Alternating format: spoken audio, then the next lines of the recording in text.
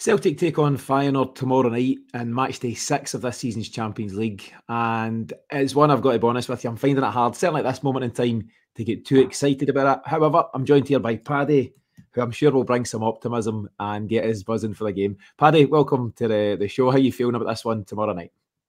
Yeah, obviously a, a dead rubber of a game. Um, I feel that after the result on on Sunday, um, we, we do need to go into it and try and get a result.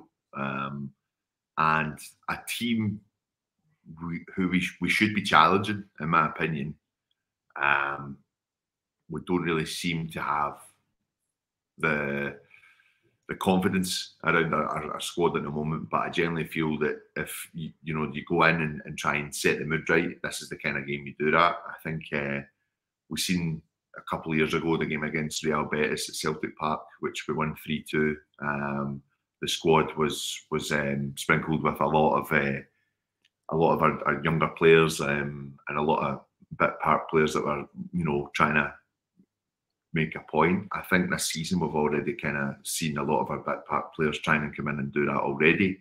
Um, but I wouldn't be surprised if we see uh, some big rotations, considering there's still quite a number of games to play this month. Um, but a good opportunity for those that um, are maybe wanting to prove a point uh, to try and come in and, and, and stake a claim for getting into the matchday squad or even getting into the starting 11. Uh, I would be going, for example, um, to try and, and, and, you know, even look at what what's Lagerbielke got to offer um, second time round against Feyenoord. Um, I don't think I would be keeping it too much the same. I think this is a game where we are allowed to go and change things up. But then there is also the other side that we've not we've not won in the Champions League in, in a long time, and we've certainly not won at home in the Champions League in, a, in an even longer time. So, a few things for Rodgers to think about, but I I generally think that you know you try and build a bit of a momentum from here, um, and I think we're crying out for that at the moment. We really are. Do you know? I seen something last night. a friend sent me a graphic showing that the games we've played this season, we've played something like I think it's 23 games, there or thereabouts, and it shows you the the win, draw, losses, you know, for each of the game. Celtic haven't. I'll, I'll double check this, but I'm sure it's right. Celtic haven't strung together three wins in a row at any point this season.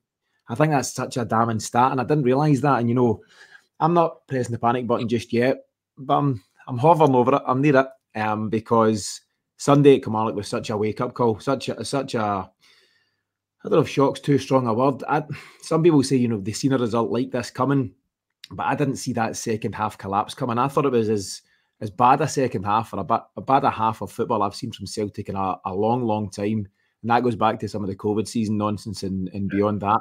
Um, but you you use the word there, Paddy, consistency, and that's absolutely what we need. You know, we need to pull together a, a run of wins and just get into that routine of just routinely taking care of business, getting the job done, putting in 90 minute performances instead of 45 minute performances, and then kicking on. I said to Miff and Joe last night on the weekly show, inconsistent starting 11s give you inconsistent results. That's the bottom line. We've obviously got the problem in the midfield. We don't know who this third man's going to be beyond McGregor and O'Riley. It's Iwata for now, but does that remain the case? Kyogo's off for him. Carter Vickers is in and out. Joe Hart seems to be short of confidence. Greg Taylor's gone back the way lots of stuff at play there, Paddy. But you're right. We need to find consistency at some point, at some point very soon.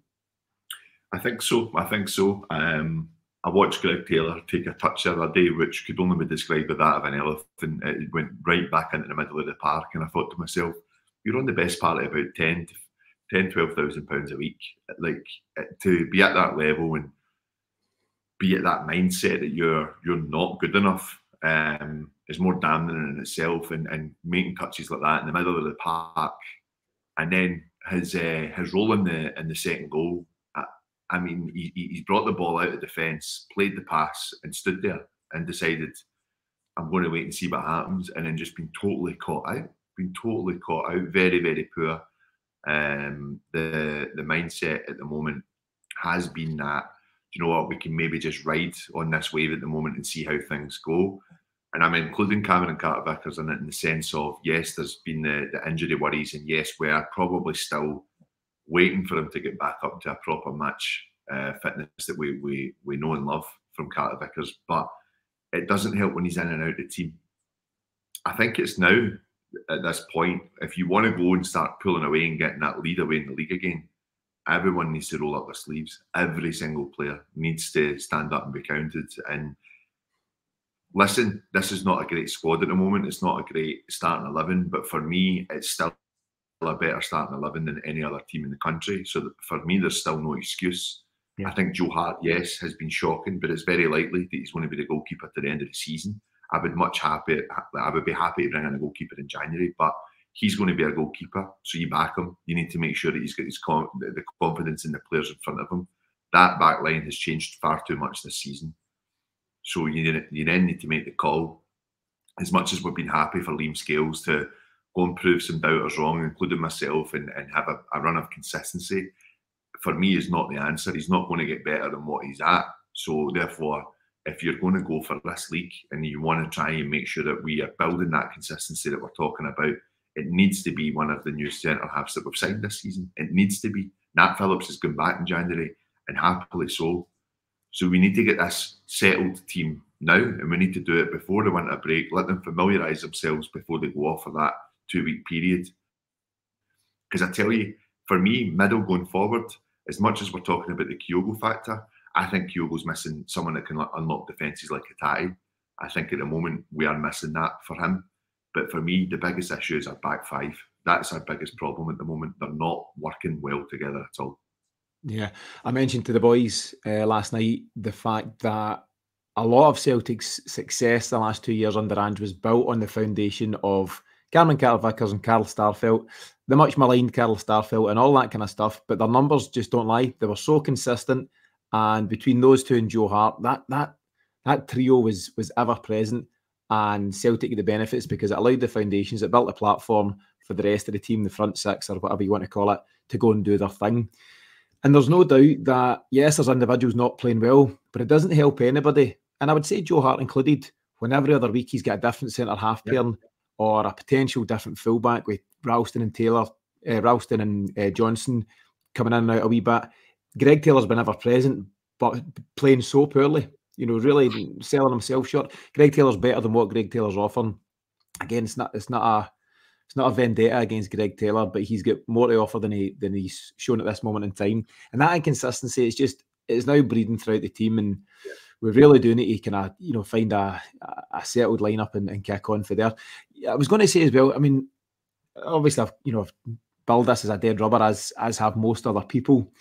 There's obviously a couple of things to play for. Um, you know, on paper at least in terms of trying to improve the coefficient, yeah. trying to get this elusive group stage win. You know that stat keeps hovering around and it's it's not a good look for Celtic.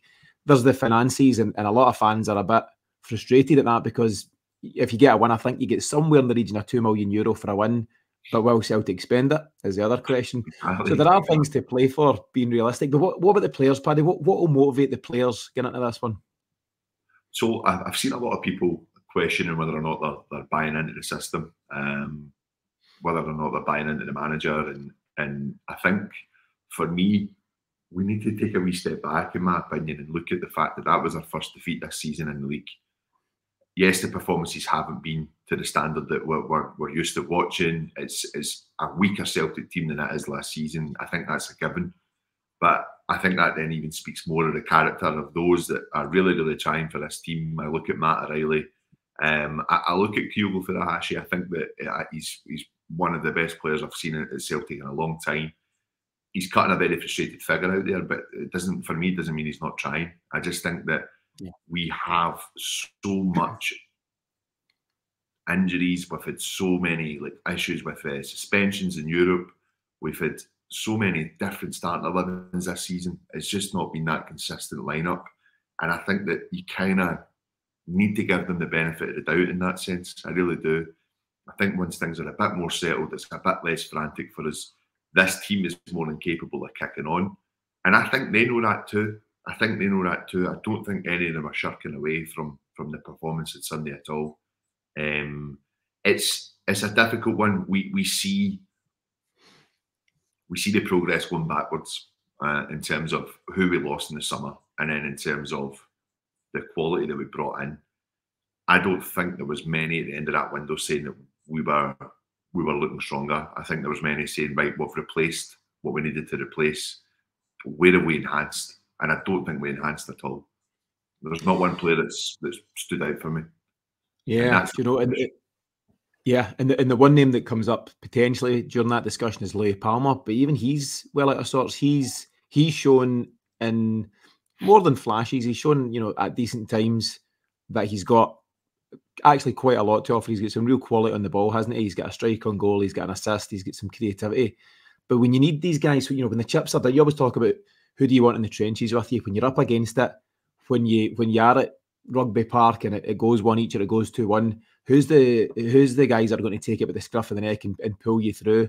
The Broony type characters, and it doesn't have to be all snarling and aggression, but who's the leaders? Who's going to stand up? We miss Carter Vickers badly in those situations. Callum McGregor and Joe Hart are your most senior operators, and both are having a mixed time, it's fair to say. And I just think, I mean, Joe made the point that tactics and formations and styles and, and strategies are all well and good, but if the desire and the work rate and the commitment and the effort and all the all the basics, all the all the things that should be given for a footballer, if they aren't there, or at least if you can't match your opposition, I mean, Kilmarnock were more motivated in that second half than us, and that is unacceptable. That's yeah. A lot of that comes down to the manager, but I also think, you know, for playing the blame game, that the players themselves need to look a bit closer to home. Even if you, you disagree with the manager, if you're not sure of his style, and, and I'm not convinced the players haven't bought into it, but just just say for talking sake, the players or some of them haven't bought into what Brendan Rodgers is trying to do. Still no excuse for not giving your absolute all because you're playing for Celtic, not for the manager. You're playing for Celtic and you're playing for yourself and you're handsomely paid to do so, which is just yeah. part of you know top level football. And the players owe it to certainly themselves, but also the fans on Wednesday night. Whatever the starting eleven is, a response is required. And I also think that you don't want another Champions League loss in your record. But if Celtic were to lose against Feyenoord, but put in a far better performance and a bit more of a determined performance, I think most fans would accept that. But you just don't know, Paddy, from one game to the next what we're going to get you don't, and and that is the this is the worry that I, I, have at the moment with this with this team. I, I can see the the point that uh, Joe's trying to make in terms of the players. I think that no one is is walking out of this. Um, no one is walking out of this with with a, a fault, with a, a part of, of, blame, in my opinion. Um, but what I just kind of go back to what I just said there as well. We're, we're, we we recognise pretty quickly that the team wasn't really firing all cylinders under the Lennon season. And I think that some people are saying they've been waiting this performance. But actually, yeah, there's been some really, really poor performances down to his missing players, down to the squad rotation that's happening. And we've actually grinded the result out, I think, in Motherwell. Um, the the game at Fir Park with Matt O'Riley scoring uh, at the death. That hunger's there. Um, we just need to see all all 11 players go for it what I still think you're finding, and and we you say 23 games in, still not an awful lot for a new player to really, really, really find their feet and understand what the rest of their, their, their teammates are up to. I've seen so many times with Luis Palma the frustration that he's not got a left back powering in behind him that he can slip in for a cross or yeah. a pass. He cuts again. He, cuts another frustrated figure that he's he's looking at. Who have I got coming in behind me here? He likes to cut in. He likes to try and play that killer pass but he's attempting it too much because he's just not got anyone in the overlap for him. Yeah. At the moment, a lot of people are starting to kind of worry about Alistair Johnston's performances as well. But then I look at who's he had in front of him for the last yeah. for the last five weeks. I think he's a very safe player, Johnston. He needs that rhythm. He needs that understanding of the players in front of him. And then we look at a midfield that's not been settled enough. Uh, Turnbull's been in and out. Bernardo's been in and out. And now we see Iwata getting tried and we speak about how quick we are bringing the ball out from the back. It's not quick enough, but then again, who is creating the options? Who's moving for them? I think every game I've seen with Bernardo and with Turnbull is that they, they just go into a pocket and it's very, very easy for the opposition just to close close the angle. Too yeah. too easy, and it's, it's, it's got, the options gone straight away. So there are players that are definitely they, need to up their game. I think those that are really trying to push to get into this team, they're the ones for me that should be on the heels of every start eleven player that's in that team. Um, but there's also big players that are playing week in, week out that really need to start carrying them. And I include our captain in that. I really do. I think this is a this is a massive moment for the team. Um, probably a wake up call at a good time in terms of there's still a lot for us to play at um, for the rest of the season, and we're coming into a, a very busy running, an important running to this winter break as well. Yeah, and you know that's it's a positive way to look at it in terms of Sunday. Not great at all, but you're better getting the wake up call just now, December, than dropping these points in March, April, May, when it when it could be really crucial to what you're doing. Um, you, you mentioned the midfield amongst other things there, and I, I, I just like I'd like to see Iwata given an extended run. I yeah. think, as you say, Bernardo's had the chance, Turnbull's had the chance, uh, Thiago Holm's had the chance. I, I think, in my opinion, Iwata's the best of the lot in terms of what he can offer, generally speaking, and also allowing McGregor further up. Let's give him that run for four, five, six games. Let's not go Iwata for two, then we'll go back to Turnbull and we'll try Bernardo in Europe again. Let's just give somebody a run and try and get that consistency. And I think it's a really valid point about sometimes players are only as good as the the teammate next to him, i.e., Luis Palma's suffering because Greg Taylor's suffering.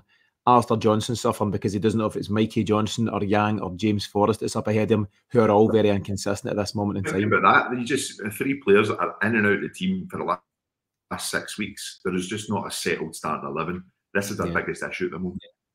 Yeah, and I think we've spoken before, haven't we, about partnerships all across the park at any level of football uh, are where you get your successes and you get your consistency and, and you can see that that link up you know continuing to happen we don't have it at this moment in time and as i say inconsistent teams inconsistent results paddy we'll take a look at the the lineup um I'll be amazed if the two can manage to to nail this because I, have just no idea what he's going to do. Miff thinks he's going to uh, play pretty strong. Miff doesn't think there'll be many changes to the lineup. You've mentioned that you think there might be a bit of rotation. So let's start at the back. It's it's obviously going to be Joe Hart. Siegrist isn't even in the Champions League squad, so there would be no question of him playing. The other option is Scott Bain. I don't think he's going to feature. So Joe Hart will be in goals. And then across the back four, you've got further issues in the fact that Nawrocki, your most expensive summer signing, is also not in the squad. Bernabei, your only alternative at left back, isn't in the squad. So, so what do you do? You know, if you wanted to freshen up, your, your options are limited. But do you think you might use the opportunity to feature Lagerbielke um, instead of Liam Scales? Is it, is it time to do that? And Carter Vickers obviously is, I suppose he's 50 50 to an extent. I think he's going to come back in from injury, Paddy, and I certainly hope he does. But do you think he might mix it up with Lagerbielke? Um, I think why not? I think why not? I think that, you know, that red card will play in Lagerbielke said from that, that game in, in Rotterdam. And I think that he uh, he'll see the he'll see the, the silliness of it he'll also feel a little bit aggrieved about it as well. I think it was a poor decision, but he shouldn't have gotten himself caught up in those situations. If we're going to get these guys in here and we need them to see what level they're playing at, experience a, mm. a, a well, an almost full Celtic Park with, with that that atmosphere, there's no better game to try that than, than a game that is is you know yeah it's worth something for us, but it's it's a dead rubber. I think we, we get him in, we give him a we give him a go, and, and, and let him experience what, what it's all about. Um, tell you something, uh, the confidence it would give the guy if we're going to get a victory tomorrow. Yeah, and he's part yeah, of that. There, there is. I mean, I'm contradicting myself because as much as I've used and continue to use this term dead rubber, there has got to be value in a game like this. You're up against quality opposition. It's the top level of European football. Yes, competitively, but you know we're out the tournament again. But there's got to be lessons to be learned for guys like a Lagerbielke or, or anyone else who finds himself in the in the starting eleven or even featuring off the bench. I think there is value in that. And as a coach, Brendan Rodgers will see the value in that as much as fans are frustrated that, you know, effectively we're playing for nothing. But yeah, there, there's certainly plenty to be gained from from players getting that experience. So if he goes with Carter Vickers and Lagerbielke, um, does he stick with Alistair Johnston and Greg Taylor? There's no alternative to Greg Taylor, is there? So it's, it's kind of no, got to be. No, and I think he may, he maybe rewards Ralston just for just getting a bit of some time on the park. I wouldn't be surprised if Tony Ralston uh, maybe mm-hmm. gets the nod tomorrow. Um, actually, you know, I, I think he, he might go Scales Lagerbielke tomorrow. I've just got a feeling that he'll keep Carter Vickers maybe out the firing line. Uh-huh. Um, uh-huh. just for the mental side of things going into this weekend and just keep them fresh for the running that we've got. I wouldn't be surprised if we see Scales tomorrow. Yeah. Um, you might have heard the stat doing the rounds yesterday. I think it was Hamish that put the stat out on a tweet about Celtic have lost five games domestically since the start of last season, and in all five, Carter Vickers has been missing. And it tells you just so much. You know, sometimes stats can paint a false impression, paper over, paper over the cracks.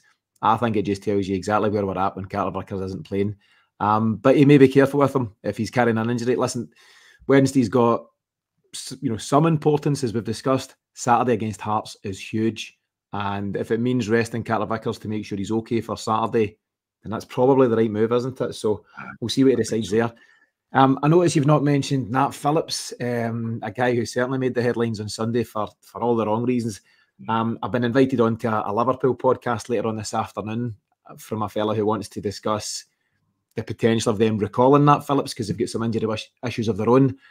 I'd love to tell them better news, but, but it's not going to be a glowing report, and it's it doesn't bring you any joy in, in saying that because the guy's representing Celtic, and and I'm sure he's given his best, but like maybe several of his teammates at this moment in time, he's woefully short of confidence, yeah. and that that bore out in everything that he'd done on Sunday. He started the game reasonably well, and as time got past, it got worse and worse and worse. By the end of it, he was a shell of a man. He, he, he looked all at sea, and the camera panned him a few times. And as I said, uh, it doesn't feel great to be talking about a guy like that. Um, but he can't he can't feature again for Celtic, Paddy. I just don't think there's any value to to doing so.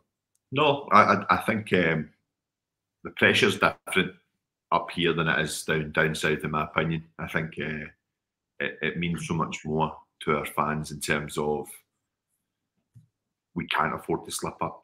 Um, I'm not saying that Liverpool can as well, but I think that it's more more uh, acceptable for their fans that they're playing in such a, a, higher standard of league, whereas the expectation up here in Scotland is, that you win every game. So I think he's he's he's felt that.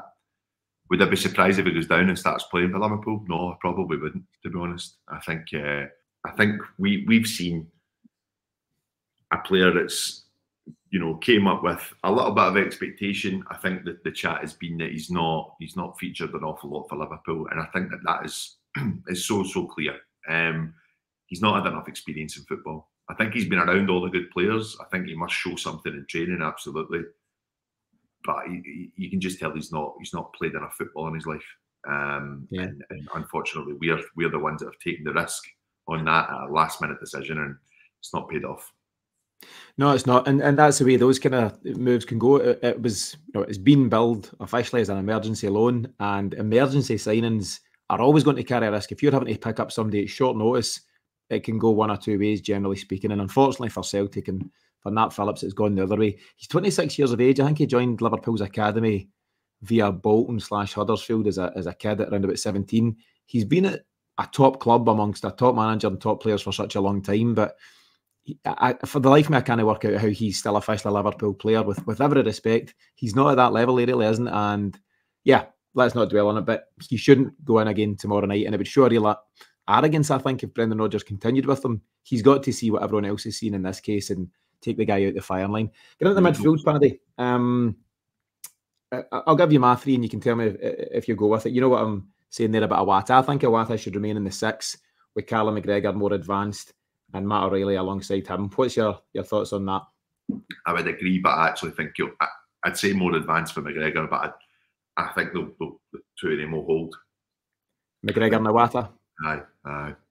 Okay. I think that's. I think he's going to have to start going with that going forward. To be honest, because I don't see McGregor having the legs as what he used to under under Brendan Rodgers. Yeah. So known in the game as a double pivot, as Miff likes to remind us. So McGregor and Iwata sitting in there. I speculated that it might actually be a good opportunity to rest Callum McGregor. You know, you, you, you rarely get a chance to properly rest him with, with nothing at stake. But again, he's a club captain. And actually, when you've had a result like Sunday and you're needing a reaction, you probably can't take your skipper out. So I, I think he needs to play, and I think he will play, as he, you know, more often than not always does. Um, so Iwata, McGregor, and O'Riley. And then up top, again, it's remember for a time you used to just say, do you know what? It's going to be uh, Jota, Abada, and Kyogo. And, and, it was dead straightforward, and you knew it was a, a, stick on. Less so just now. We've got the the mystery of Celtic's wingers between Mikey Johnston, James Forrest, Yang, Luis Palma, uh, Marco Tilio obviously doesn't make the squad as well. Another new signing that, that misses out. Um, and then you've got Kyogo and O kind of vying for for the number nine slot. What kind of front three do you think we're going to see, Paddy? I think we'll we'll see Palma. Um, I think he really likes playing in this this competition. I think he really wants to kind of put a bit of a, a stamp on it, um, on on well, sorry, put a bit of a mark on it. To be honest, I think he knows it's a, probably a, a window for a stepping stone down the line. Um, and Kyogo, for me, will get the nod as well, just with O getting the, the minutes on on Sunday. I have to say, I think you know he's, he's really impressed me lately. I think. Uh, he knows he's got bits of his game that he needs to work on, and I, and you mentioned it in the, the pre-show on Friday as well. Um, he, he's very humble about it all. I think he, he realizes he's not the finished article, nowhere near it yet. But I actually don't think his performance was that bad. Again, I think he was the the, the pride of service, um, which we're all talking about with Kyogo. I think obviously the chance for Mikey Johnston. I think that he, he, needs to score that. He needs to he needs to bury that. But again, this is yeah. this rawness that's that's coming in as well. And whether he's tried to take it with his right or whether he could have taken it with his left, he, he, he still needs to score that that chance. But I have to say that I've, I've really really enjoyed seeing him try and take an opportunity here and and as much as I wouldn't mind him kind of starting tomorrow night, uh, sorry, on Wednesday night, um, ah, tomorrow, sorry, um, I, I, I think you'll go with Kyogo. I think uh, just that little bit more experience. He's got some goals in the Champions League already, and he's he's just our, our best striker. So I, I can see that. It's the bottom line, isn't it? And we had a chat on the show last night about inverted commas the Kyogo question, and it's a bigger picture question about the, the very fact that, as you touched on at the start of this show, Paddy, he is one of the best strikers we've seen at Celtic Park in such a long time and we are not getting the best out of him at this moment. But he's shown and he's proven this season uh, against Lazio and Atletico already at Celtic Park that he can score on the big occasion if given the service. Uh, and I think he can do so again tomorrow night, absolutely. So I'd agree with you. It's got to be Kyogo leading the line. Uh, it leaves one gap in the team. It leaves the right winger.